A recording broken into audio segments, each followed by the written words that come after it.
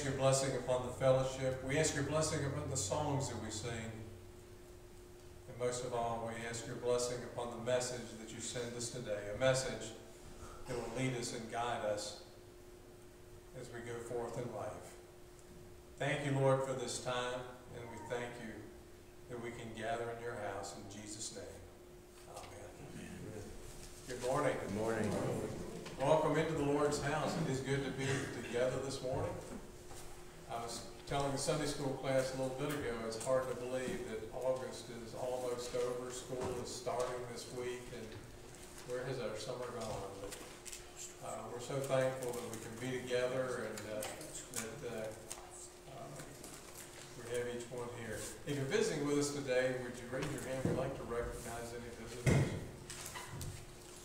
It is good to have each one here, and we thank God for our time as we share together. I want to notice a few announcements quickly in your bulletin. First of all, book club members, you have a meeting at noon today, and if there are others here who would like to join them and learn more about the book club and help them, they usually, I think, have too much food, so they need some help finishing that off as well. Uh, So, uh, the book club will be meeting at noon, if you'd like to stay for that. Uh, Pastor Scott will be speaking out at Timberview this afternoon at three. This evening, Smokey Wilson and Brenda will be here with us uh, to bring us our, our gospel concert, our message and music. And uh, we always enjoy having Smokey, and, and we always have a good group from outside as well. The folks from over at Belrose Church are always here. And so let's come out together and, uh, and have a good time of fellowship uh, with one another and with the folks from Melrose and to hear some good music this evening. So uh, make note of that. Come on back, back at six o'clock this evening for that. Uh, we will be taking a free will offering to help support their ministry, but there's no charge for our concerts. It's just whatever you feel led to share uh, to help them with their costs. Uh, looking ahead through the week, uh, on Wednesday, there are the, uh, Town and Country Bible Study in the morning at nine thirty. Uh, also on Thursday is the Facebook Live online study on Thursday at seven. Uh, looking into September, we want to mention that, uh, our Christian education youth groups will be meeting beginning on the third, so that's only two weeks away. Again, as I shared a while ago, it's hard to believe that we're coming into, into the fall already. Uh, looking forward to, uh, the camp meetings, uh, coming back, uh, in September. It'll be the eleventh through the sixteenth over at the Virgin Park, and I'm sure that you'll receive a blessing from being there. Uh, we have several pastors, Pastor Scott, of course, Pastor Bob from back in, in Burton. Uh, I think Stacy will be here one evening, and a Couple of these, yeah. couple of evenings, and, uh, pastor from over at Newmarket, I think. Yeah, Wayne Allen. Wayne Allen, and then, uh, Richard and Rita will be helping to lead our music, and so it's always a good time of fellowship and, and great messages, great preaching, and good music as we share together, so, uh, mark your calendar and plan to come, uh, as much as you can that week. It's the eleventh through the sixteenth in the picnic shelter over at the Virgin Park. Uh, also in September, the St. Jude fundraiser is on the twenty-third. There's more information on the back of your bulletin about that and all that's gonna happen there. If you're interested in setting up a stand, uh, get in touch with Cindy. I think it says it's ten dollars, uh, for a space, and whatever you make in your space is yours. This costs you ten dollars to set up. But if you have things that you don't wanna set up and wanna donate, uh, the church will have a stand as well. We'll be raising funds and we'll go to St. Jude's. There'll be food, Fat Boys will be here. Uh, just a good time of fellowship and fun. So make note of that. Again, that is on the twenty-third of September. On the twenty-fourth is the, uh, the baptism service. That will be over at Mountain Grove. Uh, we have, I think, two people that have already expressed interest. If there are others, uh, please get in touch with Pastor Scott, uh, if you're interested, or if you know someone who's interested in being baptized. Notice the note about school supplies, the youth have school supplies they've been collecting, and if you know of, of kids that need school supplies, get in touch with Michelle, and, uh, she'll help you out there. Uh, Notice the, the uh, Christian education employment opportunity, if you're interested in helping with teaching, uh, or know someone that is, WRE over, this is on the other side of the county, Elkton and Riverbend, but they're looking for a teacher there and we want to keep it quiet now, but Phyllis has a birthday coming up. She knows she has a birthday coming up, but uh, what she doesn't know yet is there's going to be a surprise party over at Antioch Church uh, on the 26th from 2 to 4 p.m. And if I remember correctly, she is turning 98. And so we praise the Lord for, for that. And uh, if you want to help make it a, a special surprise party, make note and try to go and uh, help her celebrate. Are there other announcements anyone would like to share at this time? I would like to just thank the people that was over there yesterday at the parsonage. We had a work, well, we didn't have a work day, we just, the fellow said he had a trailer and he could haul the brush, and if we wanted to do it, he'd do it Saturday morning. And we didn't hear about till Thursday, Friday evening, so I said, come on, and we'll do what we can. Uh, a few people showed up, we cleaned up some of the brush and walks and stuff. I wanna say appreciate that, and, uh, I didn't get the word out in church in time, couldn't, so we'll just but we will have a work day out here one day to work around the driveway and everything, and I'll try and get the word to everybody about that. But I wanted to thank the people who did show up, and it was just sort of a spur of the moment thing. He said he had the trailer ready for the brush, and we just went ahead and done it. And Like I said, I will announce this one out here when we get ready. Very good, thank you, Bob, and yes, indeed, thanks to those who were able to, to come and help on short notice, very short notice, so, uh, I know that's greatly appreciated. Any other announcements? Um, some of the folks got their bulletins early and didn't get this timeline insert. So if they could check their bulletins real quick, and maybe we could hand out these inserts during reading time to make sure that everybody gets it. If you want an insert, there's a bunch of inserts out there. When you go out, just pick an extra one up. They're in the we got plenty. I'm sure you can see it from where you are, but it looks something like this, it's another insert, it's Yeah, timeline. it's, it's two-page timelines. Yeah, that, that runs from the time of Adam to the time of the flood. It's for the sermon, it, that would be helpful. So if you don't have that, uh, maybe, uh, Bobby says there's some out, does anybody not have that? Not everybody. So we have about, uh, a half dozen, maybe if somebody could grab a handful and, Well, this, if you take my handful, that would be great. here you go. Donna brought them up to me. The ones that were back there, Donna brought them up to me, Fred, so. he's gone. Here's some. So again, if you don't have it, uh, you would raise your hand, thank you, Fred. Fred will bring you a copy. Thank you. Just raise your hand if you don't have it. Good night, so he'll, he'll see you. Are there any other announcements then? Let's take a moment or two and greet one another, and then we will continue with our chorus.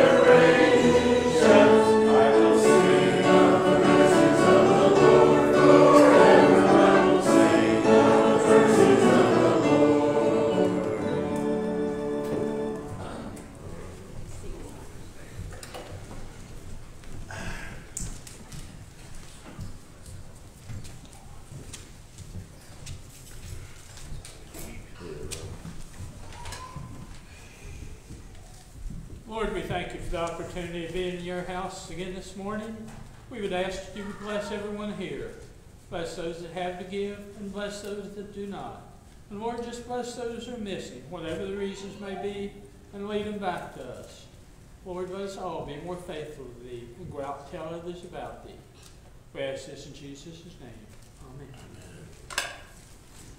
Amen.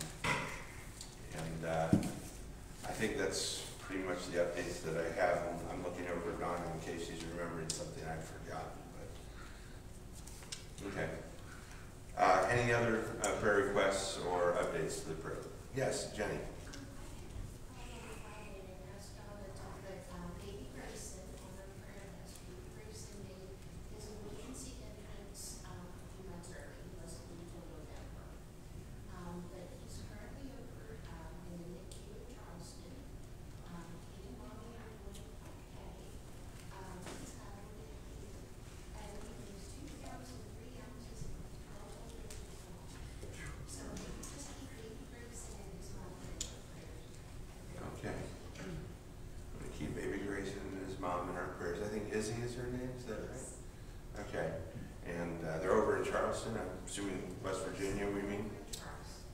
Not South Carolina, but West Virginia, okay. so keep them in your prayers. Two pounds, three ounces, a very small child.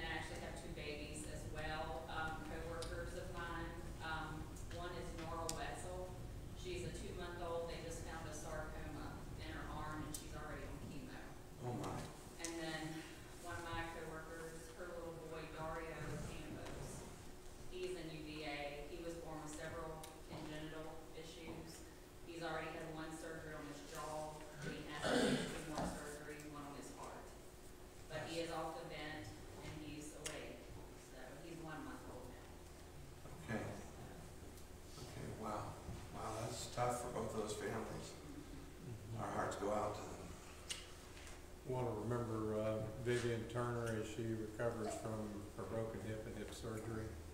Okay. Vivian Turner.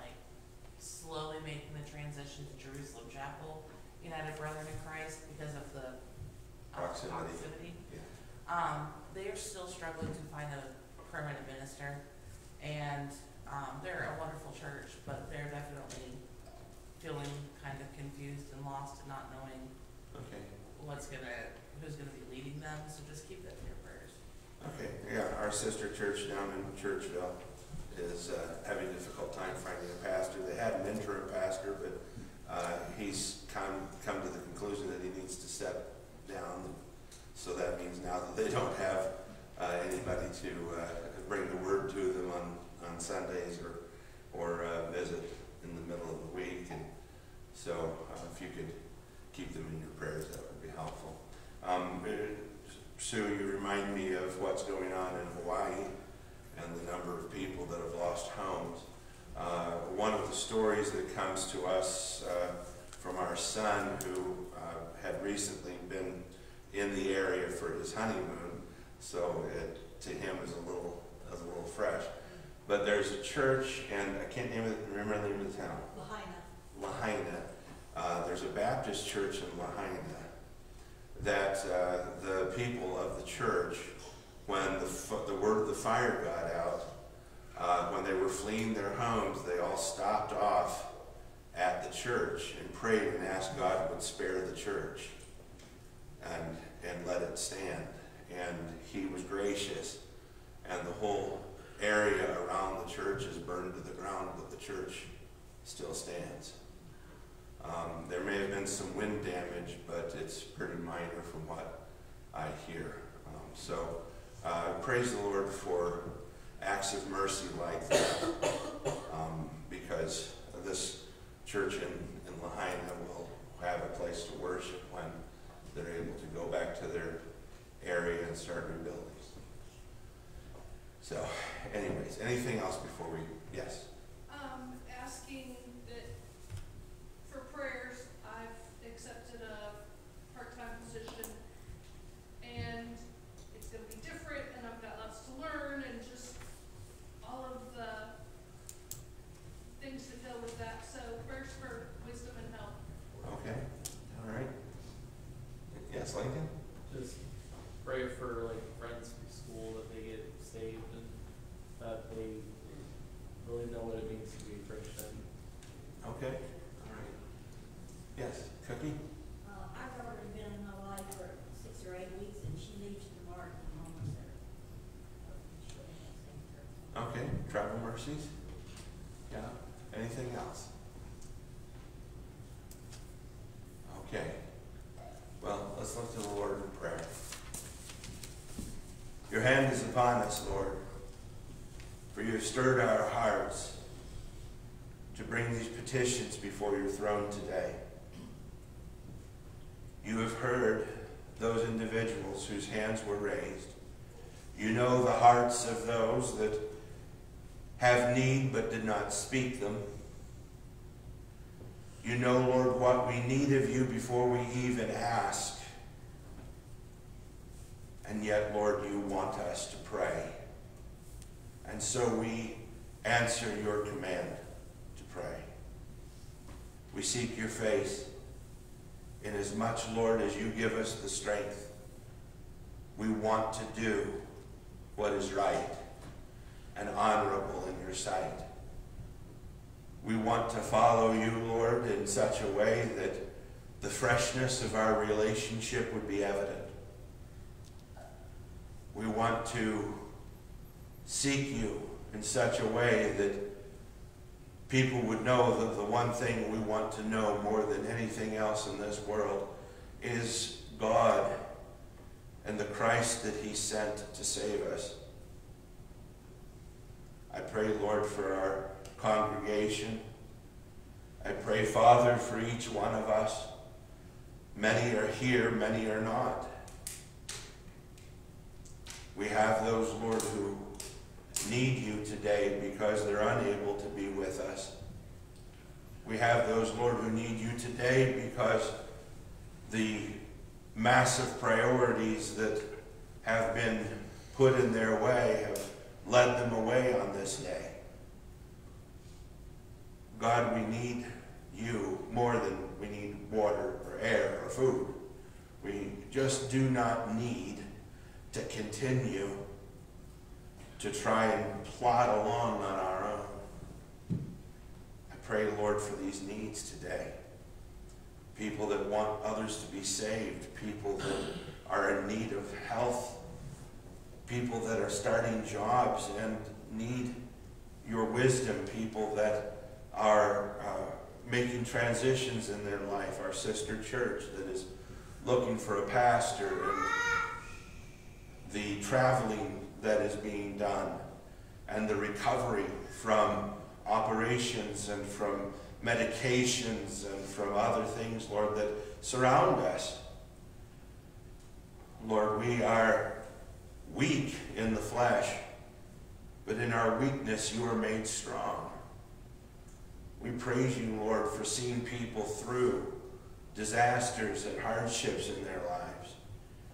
And we thank you, Lord, for this story that comes out of Hawaii that reminds us that when your people put you first, you respond with grace. God, help us to walk faithfully in all that we do. We remember our teachers and our students that are going back to school this week. We remember, Lord, our truck drivers and others that supply us with food and with material goods that are needed. We thank you for our emergency services personnel and medical technicians. We thank you for our doctors and for our teachers, for our, our graces that you've given to us, Lord, in so many forms, mothers and fathers and community leaders. So much, Lord, you have surrounded us with that we might be a happy and a gracious people.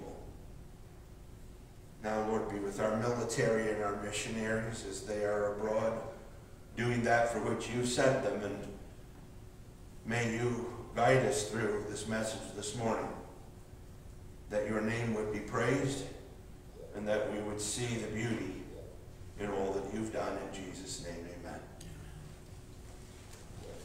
I'm going to teach you a new word today antediluvian. What does that mean? Well, this is not anti-diluvian. That would be A-N-T-I. This is A-N-T-E, which means before.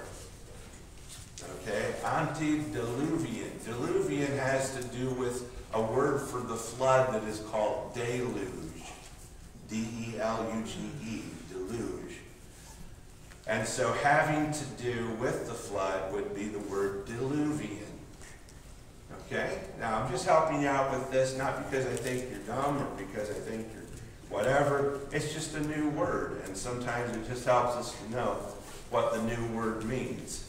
This means before the flood. This is the time between the fall of man and the flood. And that's what we're talking about today, this period that is represented in Genesis 4 and 5. You have in your bulletin a timeline. Now, the timeline is a two-part timeline. So, um, when you put the two pages together, it looks like this. All right? So, so that you can understand how that, that comes together. And uh, it was too long to put it on one page without it being so small you wouldn't be able to read it. So that's why it's on two pages. Gives you an idea of the passage of time between the fall and the flood. You'll see a yellow line on the one side where the flood occurs, and you'll see the only person that survives that flood is Noah. Uh, just FYI, we're in black and white. Yeah, you're, I know, you're in black and white. I got you. I'm looking at color, I forgot, black and white, bless your hearts. That's still a black line then, or a dark line at least. But you'll see where it says, uh, the flood, or, yeah. And then, uh, you see another event marked out there where Enoch is taken. Okay, so that timeline will be helpful. You might want to reference it for your own personal questions, but I thought though that it would be something that you would find useful for today's message. We're going to look at Genesis chapter 4. Genesis chapter 5 is kind of, kind of uh, drawn out for you there in that timeline.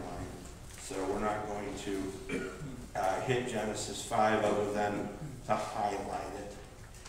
But uh, look into Genesis chapter 4.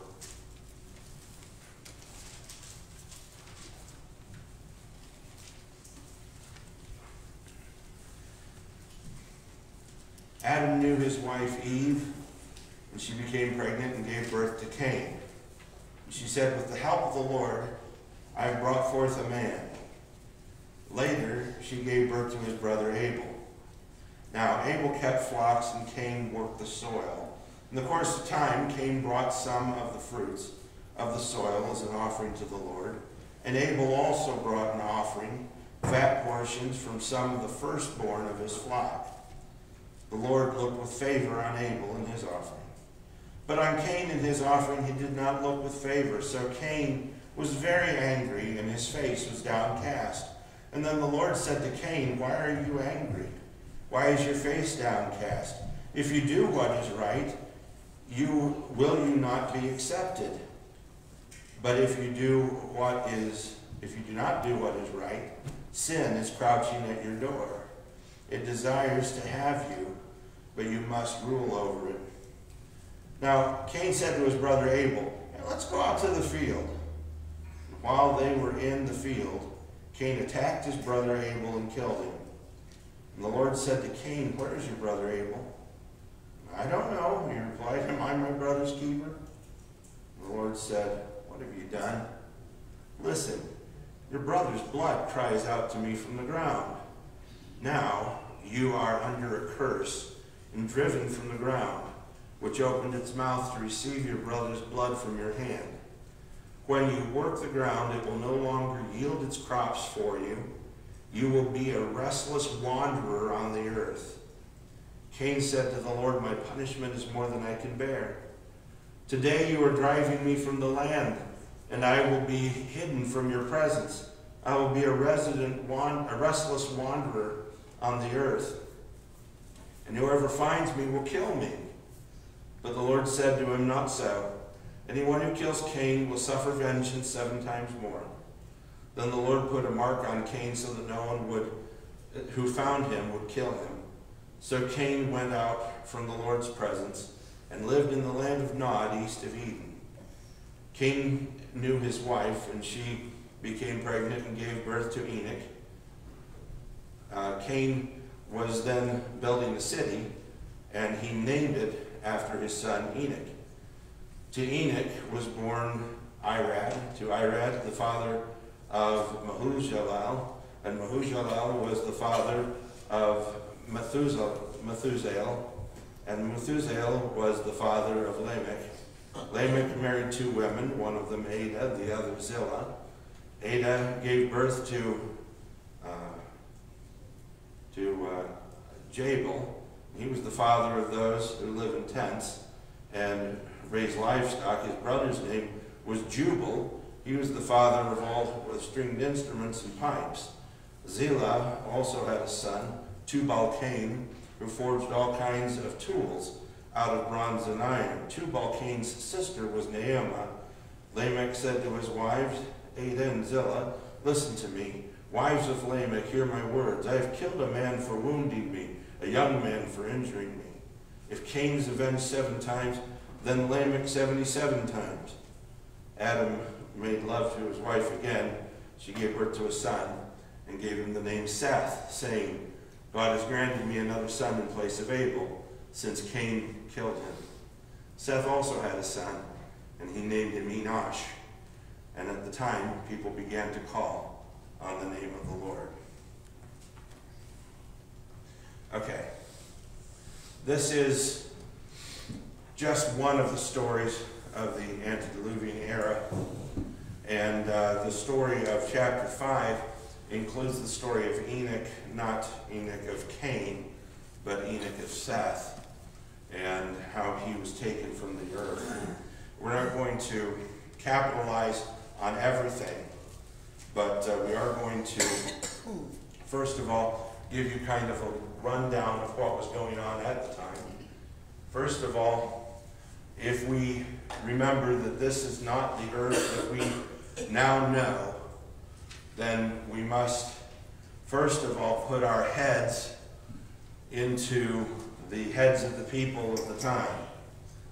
The land was in one land mass at the time, and there was one sea at the time. Okay, this is found in Genesis 1 9. The Lord gathered all the waters into one place, and dry land appeared. Okay, it doesn't say the Lord gathered all the waters into many places. He gathered them all into one place. There was one mass of land. Now, scientists in the past have called this Pangea. Uh, just uh, basically means all the world, is what that term means, Pangea, all the world. And uh, all the land was in one place at this time. They didn't know uh, continents and they didn't know all of this kind of thing. They just had one landmass and one sea. Um, another thing about this uh, pre-Diluvian world, antediluvian world, was there was no clouds or rain. In Genesis chapter 2, verses 5 through 7, we have the method by which the land was watered, and it specifically says that there was no rain at the time. Now, this is God's testimony to Moses about what God knew and about what God thought was worth retaining. Okay, so what we see here in the book of Genesis, in chapter 4, is not Moses repeating some verbal tradition that was handed down over generations and, like telephone, subjected itself to the law of entropy. And when it got to Moses, it was nothing but uh, fairy tales and stories. Uh, those that are in liberal churches are hearing this kind of thing about these passages all the time. Okay, this is not verbal tradition. Moses was up on the mountain for 40 days and 40 nights, and he wasn't just up there scratching himself. Okay, he was up there talking to God. God was giving him this testimony, which is God's testimony about what happened in an era where nobody was left but God to tell about it. Okay? It's so important that you understand this. Because if you talk to your friends that go to liberal churches, they're going to say, oh, I see you're a literalist. Or they're going to say, oh, well, that was just stories. Oh, that was just analogies. Oh, well, do you really believe that? And you're going to be shocked because these friends, these friends of yours that go to liberal churches, their churches still have the name Christ on the front or Christian on the front. And you would think that those people would, would accept the Bible, that they would accept what it says, that they would do what it says, that they would listen to what it says, that it would be superior to everything else, but it's not. To them, the scripture is nothing more than a screwdriver in a toolbox, one of many tools by which they learn and, live. For us, folks, this is the living Word of God, the living, breathing Word of God, the Word of God to which we subject ourselves in totality because it is God's testimony and not man's. And therefore, we listen to what God has to say. And what he thought was important for us to remember was that tent making came before the flood, that music was invented before the flood, that the forging of iron came before the flood.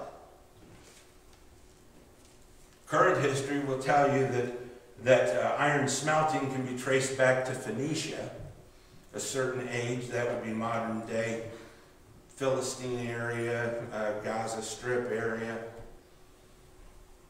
They say that as far as archaeology is concerned, that's the furthest back that they can trace it. But God testifies that forging of iron for weapons and such came before the flood. And so we have this testimony here.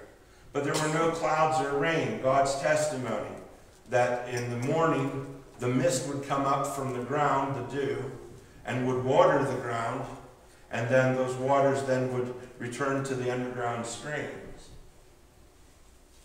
Another thing that we see here before the flood in the antediluvian era is a vapor canopy, most likely ice crystals, that were above the firmament.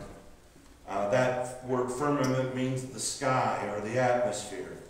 In Genesis 1, verses 6 through 8, we have the record of God separating the waters below from the waters above. And all through the earth, there was a vapor canopy. We know that it caused the whole earth to have almost a temperate or tropical climate, to the extent at which we can find uh, tropical ferns and uh, other tropical fossils in Alaska and Antarctica. Now, of course, those that don't want to believe the testimony of God and are trying to come up with their own theories, they say, well, the reason is because at one point the earth was like this. And so in those tropical regions, that was Alaska and Antarctica, and at some point the earth went like this. And then we have the current north and south poles. It, it, it takes, it, it, takes more uh, cartoony kind of logic to believe that than it does to believe the straight testimony of God. The straight testimony of God is simple. He separated the waters from below, the waters above. The whole earth was covered with a vapor canopy. Uh, like I said, in the upper atmosphere, it would have been uh, probably crystallized. The, now, I, you got to understand that when I get upset with cartoony scientists, I am not upset with real scientists. Does that make sense? Okay, if two people come to you and one person tells you something that is serious and is verifiable, and another person comes up to you and tells you a crazy joke or a crazy story, okay, you, you have two sources of information, you're going to go with the serious one, not the crazy one. Right? Okay, so in science, there are crazy scientists and there are real scientists. So far, so good? So I'm not saying that I am opposed to science. The Bible is not opposed to science. So when I say this, that scientists tell us that our pituitary gland, which is in charge of the changes in our anabolism and catabolism, our metabolistic or metabolic system, which causes us to grow and causes us to age, it's affected by our exposure to ultraviolet radiation. Now, with a vapor canopy all over the whole world, the ultraviolet radiation is very minimal.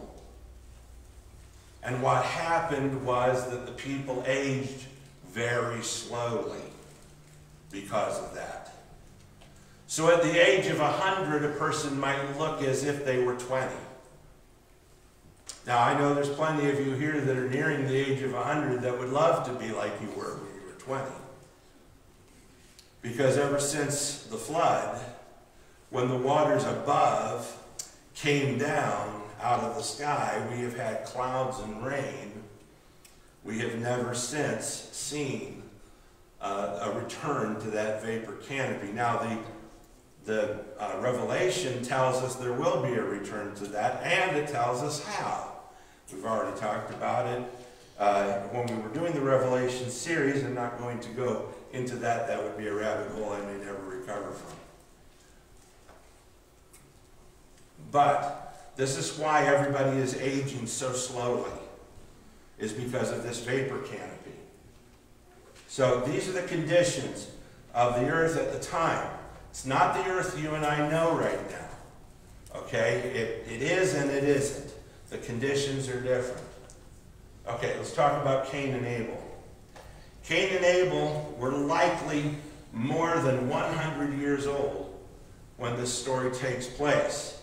If you reference your timeline, you'll see that Seth was born when Adam was 130 years old. Which, since Seth's birth, was soon after the murder of Abel. Abel and Cain had to have been somewhere between 100 and 130 years old. So they had already lived on the earth as brothers for quite some time. Uh, they were not, uh, in, in our terms, they would have been somewhat in their 20s in their aging process compared to our aging process. But they had lived for more than 100 years at this time. They were not, you know, young men in their 20s or whatever as you and I know our 20s. But they had actually lived on the earth more than 100 years at this time.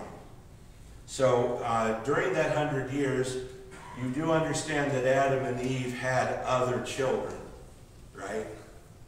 Sons and daughters during that time. Cain and Abel were the two oldest sons of the whole group of people. Now, a lot of your friends that want to give you a hard time ask the question, where did Cain get his wife? From among his sisters is the answer. And somebody says, oh, I thought that was wrong. They didn't have laws like that back then. They didn't have any other women to pick from back then. Abel, if he was married, would have married his sister. Uh, Cain would have married his sister. And if Seth married anybody that wasn't his sister, it was probably his niece. Okay, there was no other people on the face of the earth to choose from. You say, well, what about all these other people that Cain said would find him and would kill him if they found out? Where did those all, all those other people come from? His family.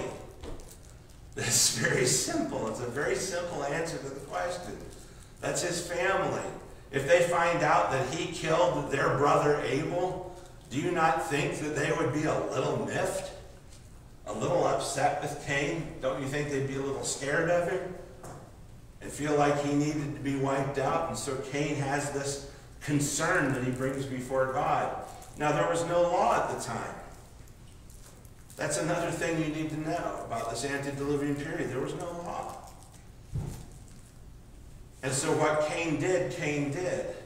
And God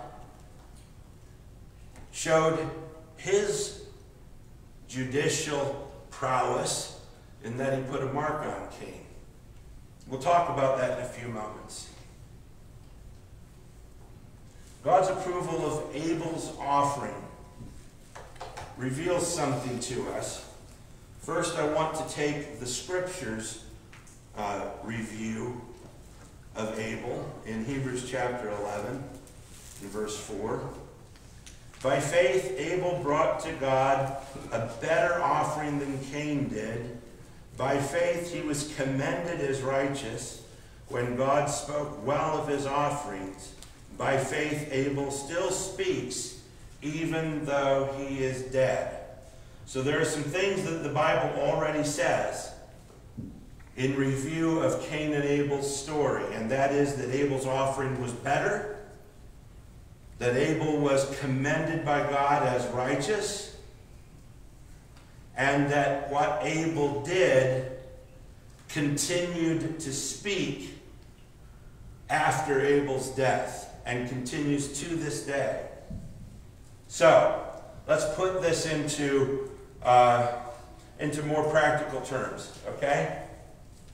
First of all, it reveals that faith in, in love is the foundation of worship. Abel's attitude towards God was one of worship.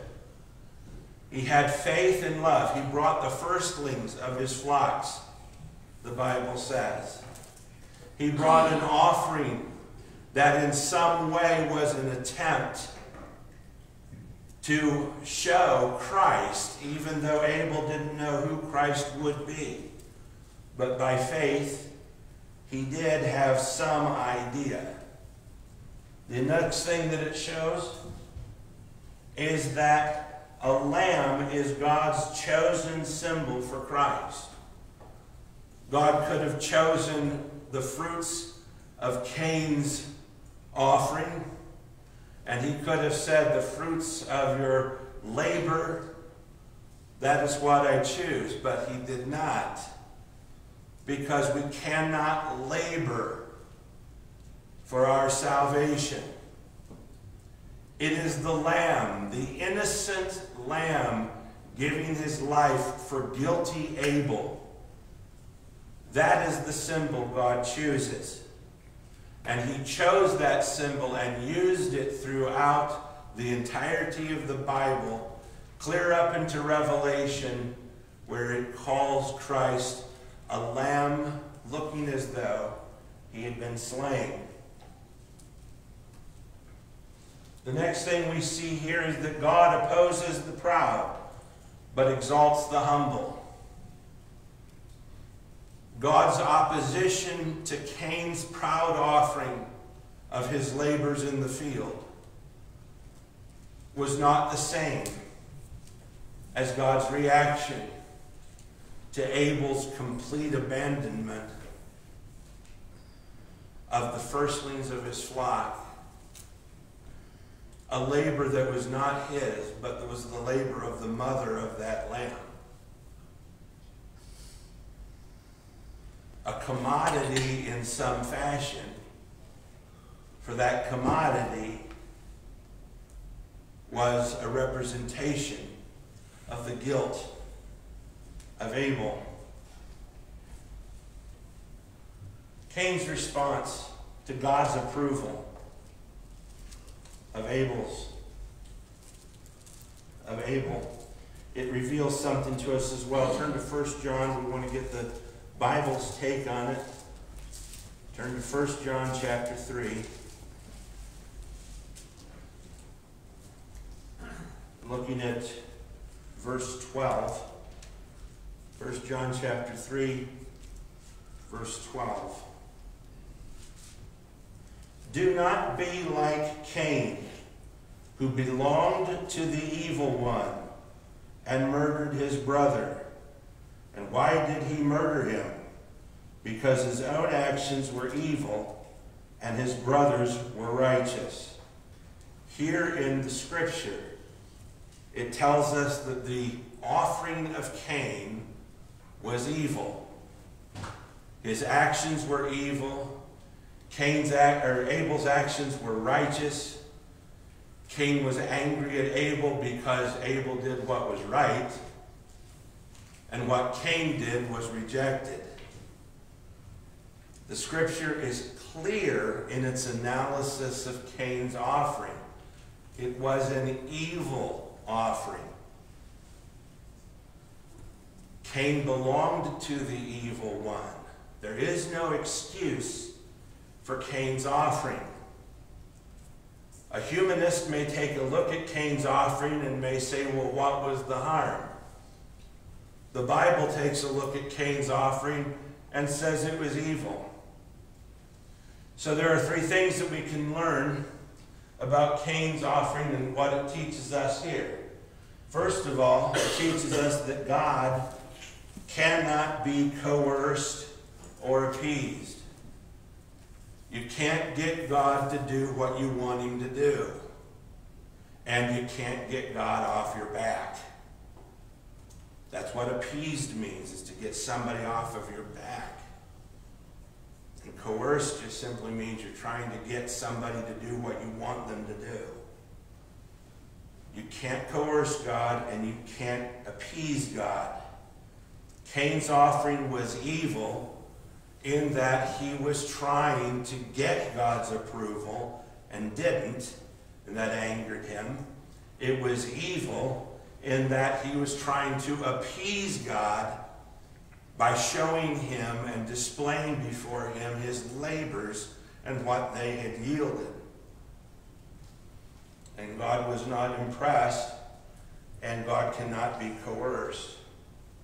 Another thing that we learn is that pride goes before destruction and a haughty spirit before a fall. Often people can combine those and they say pride goes before a fall, but it's not.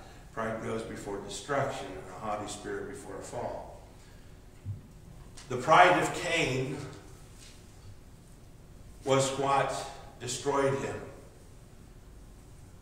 His haughty spirit before God was what caused him to fly into a jealous rage against Abel. The lack of restraint by law was what gave Cain the full justification to kill his brother Abel. But there should have been a restraining grace upon Cain that this was his brother. But he loved not his brother. He hated his brother because his brother was accepted and he was rejected. Now, hypothetically, you can say, what if Cain had repented, blah, blah, blah, blah, blah. Yeah, sure, whatever, but he didn't. That's, so the story isn't the what if. The story is the story, and the what if, I mean, goodness, you could come up with a hundred what ifs. And it still wouldn't make the story any less that it happened. The third thing it teaches is that merit based religion hates those who receive God's grace without merit. It angers religious people that you've been chosen by God and saved by God, and there's nothing you can point to to say that you deserve this grace. It angers them because they work very hard, like Cain laboring in the field, trying to produce a crop, and then proudly displaying his crop before the Lord in an offering. These religious people that surround you are trying to earn their salvation. One of their favorite sayings is, I look at it this way. In the end of time, God will weigh out my good and my bad, and if my good outweighs my bad, I'll go to heaven. No, it won't happen at all that way. If you appear before God with nothing but the work of your hands to offer Him, like Cain, you will be rejected. But if you appear before God based upon the fact that He is sovereignly chosen to save you without any merit to point to, without any deserving quality about you whatsoever, He has made that choice on His own, by Himself, for Himself. You have nothing to worry about in that day. For if it is God that has chosen to save you, then there's no one that can unsave you. You will stand against the forces of hell itself because God will give you the strength to stand. Jesus died 2,000 years ago, roughly speaking. And so, since you have been saved since that time, it's safe for us to say that Jesus certainly died for future sins because you are a future sin. Which means that even though you've been saved and you may commit a sin here and there, God has saved you even from those future sins. Even you are sitting here right now, and some of you may stumble, may fall, or backslide even. God can still save you from those future sins because He already has determined to save you from those sins. And when God has determined something and He says that His gifts are without repentance, you can know that if He has given you the gift of eternal life, it is without repentance. It is not based upon your merit, but on the merit of another. Jesus Christ, the Lamb of God. And Abel did a perfect job in displaying the story of salvation and the offering of this lamb before God. Let's talk about God's approach. Because there is a third party in this story. First of all, no law was given, so Cain was marked to prevent revenge killing.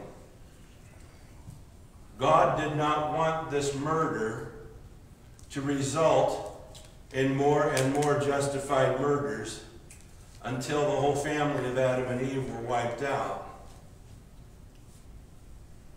And so Cain was sent away with a mark on his head.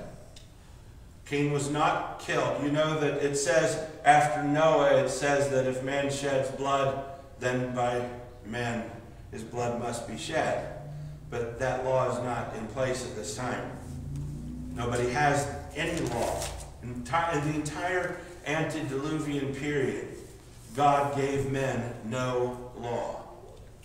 Now, I've said it before and I'll say it again.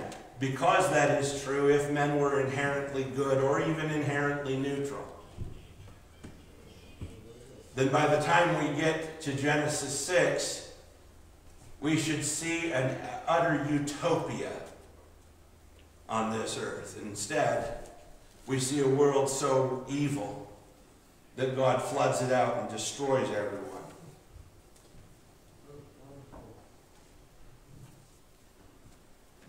Second of all, God let mankind manage themselves.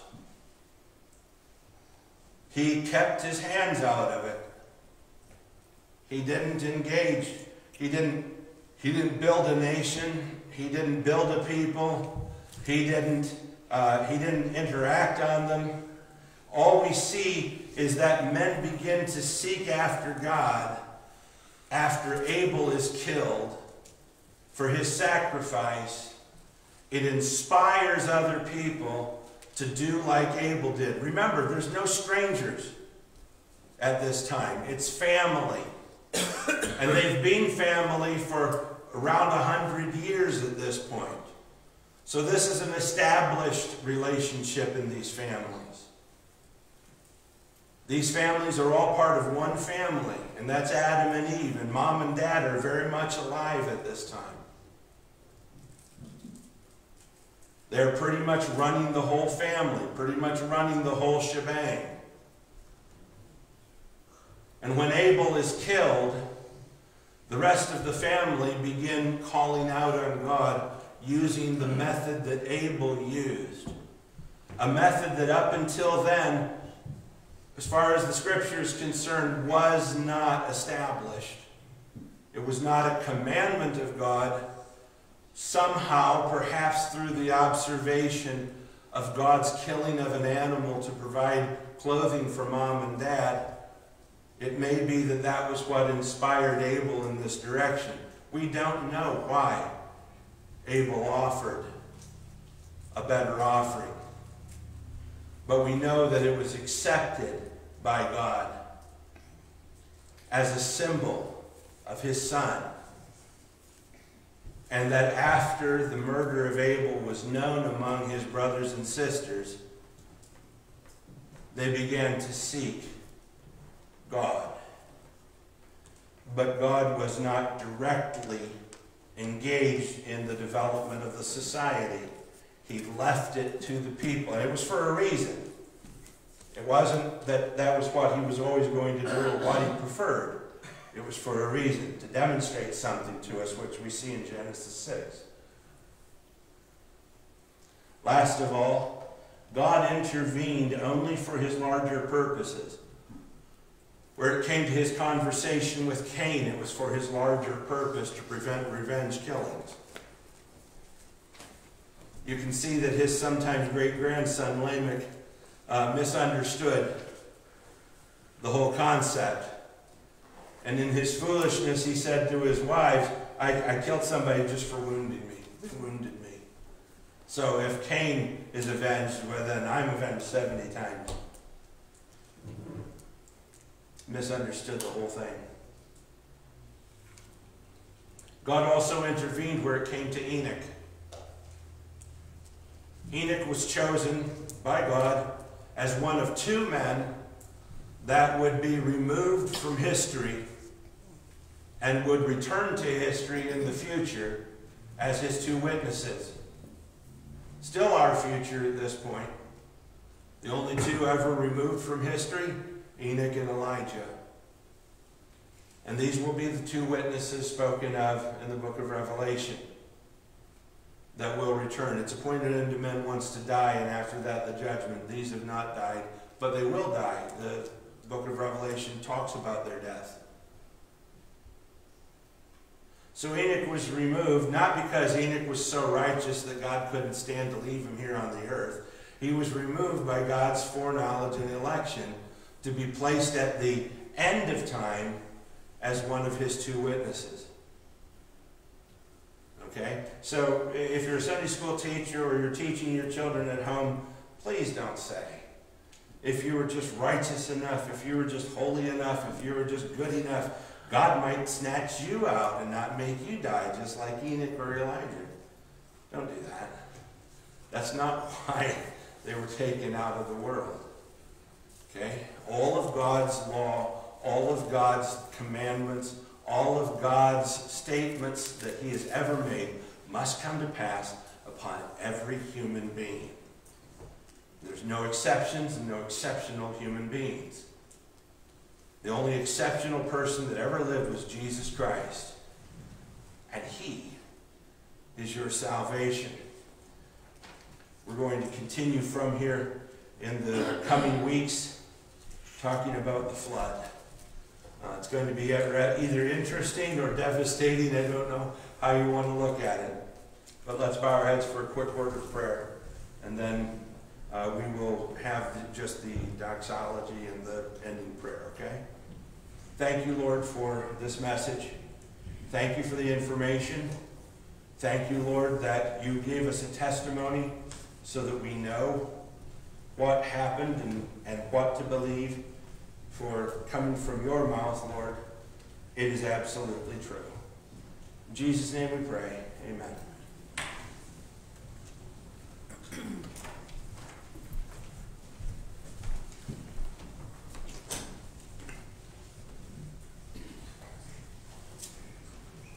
Father God, again, we thank you for this message today. We thank you for your word that provides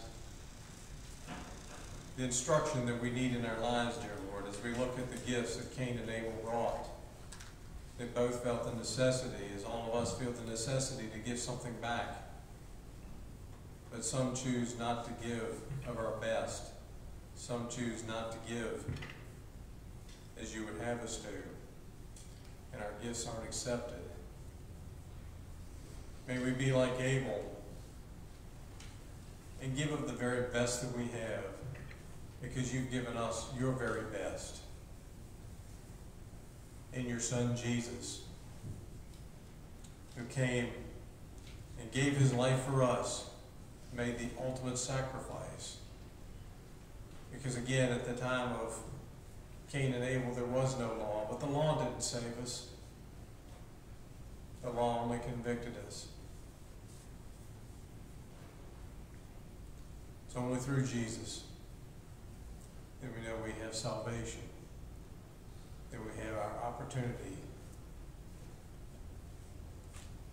to spend eternity with you. Thank you, Lord, for this lesson today. Thank you for the message. May we examine our lives. May we examine the gifts that we give and give freely and cheerfully, not begrudgingly, and not jealous of the gifts of others. Bless us now as we go out. We pray in Jesus' name. Amen.